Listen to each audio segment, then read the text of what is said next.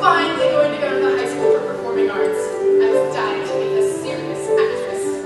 Anyways, the first day of acting class, and the teacher, Mr. Karp, puts up on the stage with our legs wrapped around each other, one behind another. And he says, okay, we're going to do an improvisation. You're outside, we're on a bus, it's snowing, and it's cold.